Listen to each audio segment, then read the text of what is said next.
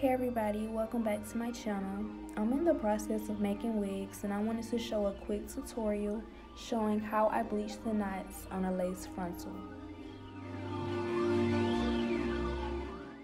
So the frontal that I'm going to be using comes from my hair company, Sugaplums Hair Collection. If you are in need of any good quality frontals, closures, and bundles, please check out the link below. So the first thing you want to do is push back any stray hairs that may be in the way. This will avoid getting bleach on the hair.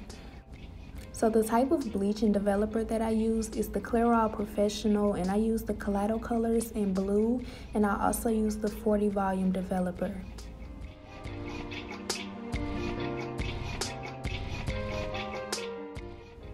To get seamless results, I recommend using a plastic knife to mix the bleach in the developer and to apply the bleach onto the lace.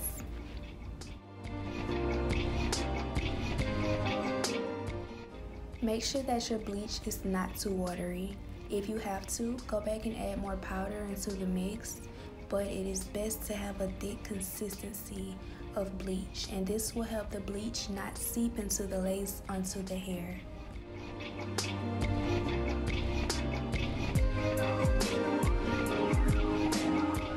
So this is how your bleach should look. You want to make sure that it's nice and pasty. So now we're going to move on to the next step, which is applying it to the lace.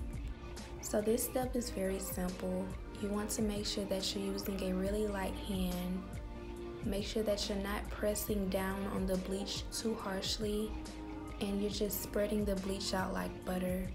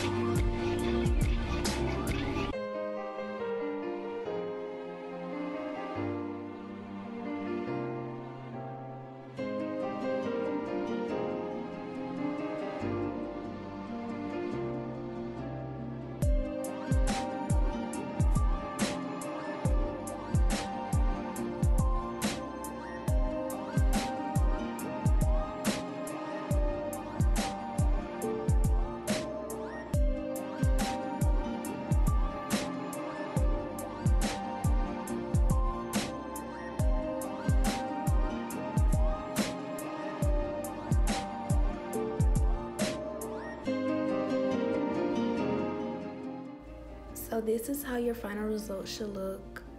The bleach should be spreaded all over the lace, not missing a spot.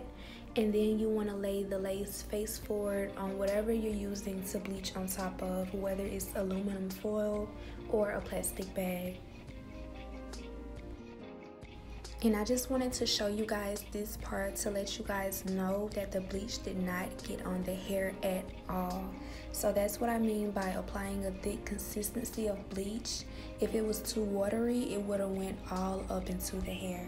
So I let the bleach sit on the lace for about 10 minutes and then I went in with my Isoplus neutralizing shampoo and my Shimmer Lights shampooing conditioner.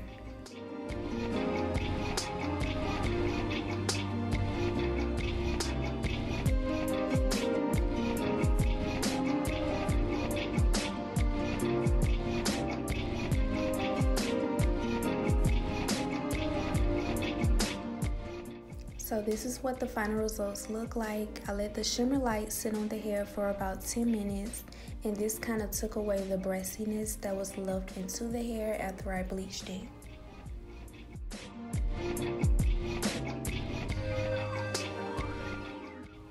So I'm not quite done yet. I go back in with my homemade lace tint that I will be releasing soon for purchase. And I let that sit on the lace for about a good five minutes.